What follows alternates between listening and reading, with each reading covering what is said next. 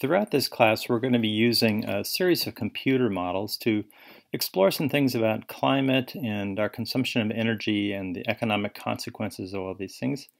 And so I thought it would be helpful to begin with an explanation of what a Stella model is. And so you can see how they're made and how they work and so forth. So Stella models uh, begin with some kind of a, a, conceptual diagram of the system that you're going to try to represent. So over here is a drawing simple drawing of, of, a water tub. It's got water in it. It has a faucet pouring water in, and water leaves the tub via this drain here. So there are some uh, mathematical relationships here between, you know, the area of the base of the tub and the amount in there and the depth of water in the tub. The depth of water in the tub then controls the velocity of water going out the drain. That times the drain area tells you the amount of water that leaves in, in a given period of time. Um, so anyway, there's the, the conceptual model. Here's what it looks like in Stella.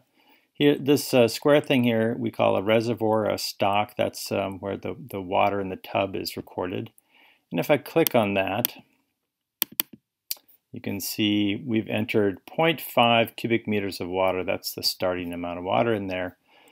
This, this uh, entity here is called a flow. It's just like a pipe that, uh, that allows water to flow into the tub and that has a specified rate. It's 0.25 cubic meters per minute, um, and that's a constant value. the drain, on the other hand, is not a constant value. It's defined as the velocity at the drain times the area of the drain. Um, the area of the drain is defined over here by another equation that involves the drain radius. The velocity of the drain here is, uh, is this thing. It's something called Torricelli's law. Gravity here is a constant. Um, the area, of the base of the tub is something that is a constant that we'll start off with as uh, 0.5.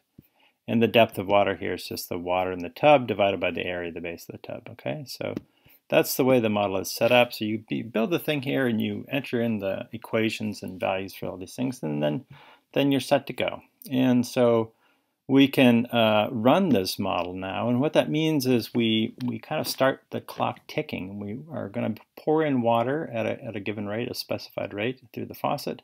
We'll let it drain out according to that equation, and we'll see what happens. So here we're going to run this for 30 minutes. And we just click the run button here. And you can see very quickly it calculates this.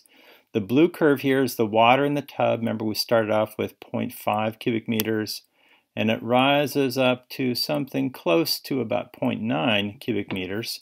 And see how it rises up quickly at first, but then it levels off and approaches a kind of a steady state. And that's because the, the water leaving the drain is rising and rising and rising until it becomes essentially equal with the amount of water flowing in the faucet. So at that, at that point in time, the water coming in is equal to the water going out. So there's really no change in the amount of water, the volume of water in the tub here itself. This interface to the model here includes some little um, knobs and, and uh, things that you can adjust. So I can uh, change the drain radius. We can see what happens if we change the radius of the drain a little bit, increase it there.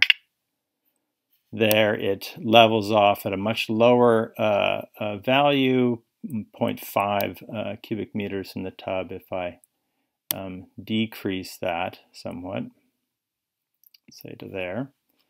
You can see what happens there. It doesn't even in this time period level off entirely. It's uh, already up to more than 3 uh, cubic meters. So we're going to have a lot of water in the tub at that point. And you can uh, reset those things by hitting the U buttons there.